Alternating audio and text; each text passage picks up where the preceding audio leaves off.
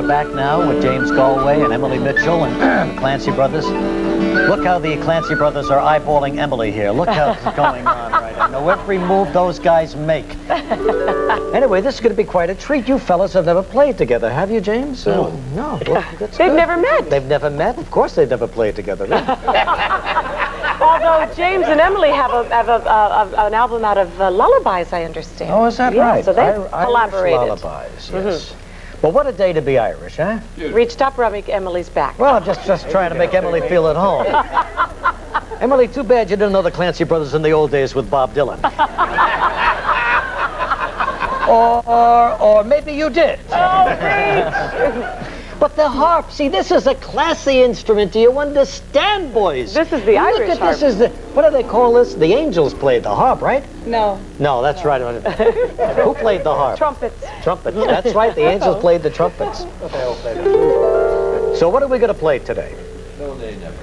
What is it? No, nay, Will you- never. Are you going to join us? Now, is this a classic Irish song? This is a song that we recorded about, oh, before we met you. Yeah. That's a long time ago. Yeah. And it's been pumped out in every Irish pub today, right around the world. Uh-huh. A friend of ours actually heard it played on St. Patrick's Day in Tokyo. Was that right? now, let me ask you something. That's The Irish songs thought. I knew when I was growing up was same old shillelagh, me father could lick a dozen men, and many's the time he... I don't know the rest of the words. and neither do you guys, the way you're looking at me. Did you ever hear that song? I heard it, yes. And what is the name of that song? The same old shillelagh my father took from Ireland. All right, how about this one? Oh, the cymbals clanging, the trumpets banging, the horns they blaze away. Alexander's McCarthy Ragtime pumps the Band. old kaput. Alexander's Ragtime Band. McNamara's Band. Oh, him too. That's it for my Irish contribution here. But let's get to... It. We were uh, hoping we get your audience singing today. all right, so let's try this Very one, okay? simple chorus that says, No, nay, never. No, nay, never. No, nay, never, no more. Will I play the wild rover? Never, no more. All right, let's go. And Clancy it's no, nay,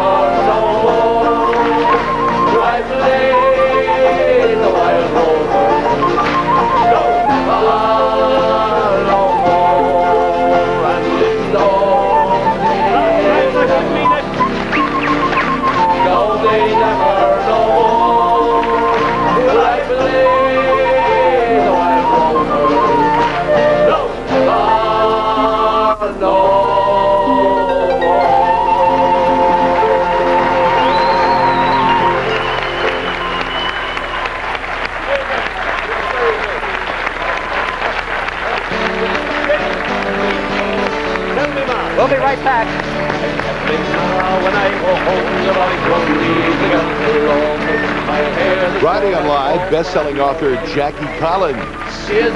And movie critic Roger Ebert.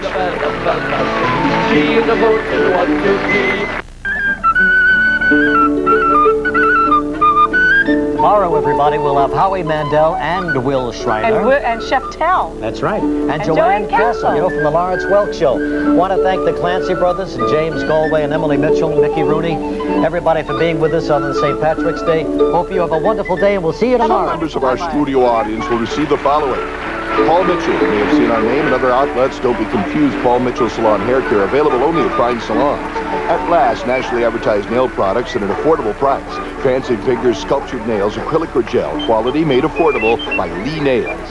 Reynolds oven cooking bags. The easy way to prepare delicious, everyday family meals. Real cooking. Why make it tough? With the no-nonsense confidence of new triple run guards, you'll do a no-nonsense job all day, every day.